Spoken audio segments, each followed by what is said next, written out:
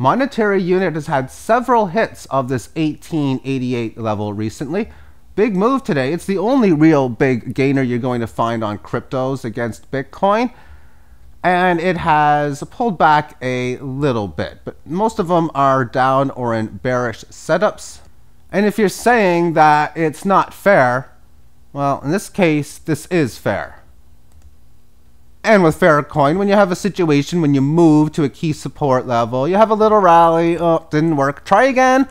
Oh, double shot, that's like a double top, however you want to look at it. Not very bearish for the short term, or it's looking like another leg lower should occur with Fair. The Dow Jones Industrials, well, it's a symmetrical triangle, but I don't feel like talking about non-crypto related uh, funds in this video. And welcome to the 4 Minute Morning for today, which is the 15th day of March. It's also crypto day. And within the Bitcoin price, the double top formation, which is bearish, you're either, uh, well, you're looking for it to go down and make a key move, which it kind of did, minimum level, pierce below the next Fibonacci mark. But now that it has had four days of resistance within this point, big battle within this 18 average for if it wins, and bullishly if it wins.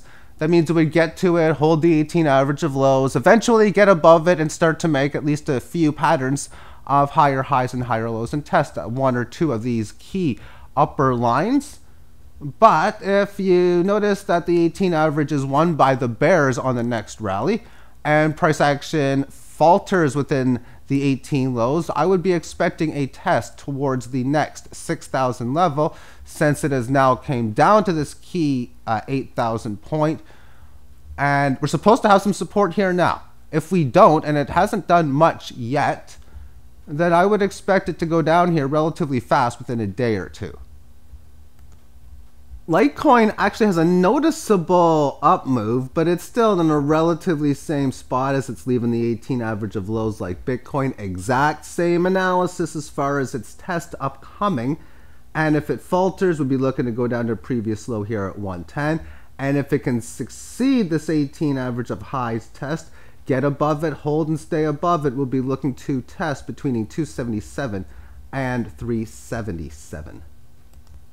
As far as Litecoin against Bitcoin, it's right now in this correctionary battle between the bulls and the bears, getting above uh, 0.0207. Will look like the bulls will get the win, and if this 18 average of lows pr currently priced in at 0.01888 falters, then it looks like uh, the bears will have a win and will look to test down a little lower. Against Ethereum, however, we got a nice pattern where current price action at around 0.2, well, current price has had many resistance hits, several uh, higher lows recently. This thing looks like it might be ready to push up to the one-third value of Ethereum after finding support rather than resistance at a major Fibonacci level at 0.232. And finally, let's take a look at NEM XEM doing its Fibonacci thing.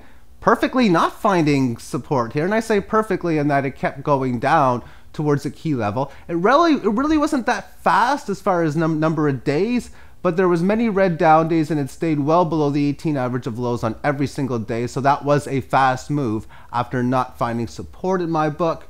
And then it comes up to this key uh, level as resistance, and now it's coming down to a correctionary phase. Huge, huge test because if it can get above it, then that would be all the stages needed for a reversal. Band flattening out, establishing resistance, coming back to the band, and then breaking above it for a new uptrend. But if all of that fails and the 18 average of lows falters, then I'd be looking at this early March rally as a failed breakout with the most likely event of a fast move lower coming thereafter. Thank you for tuning in and have yourself a magnificent crypto day. Bye bye.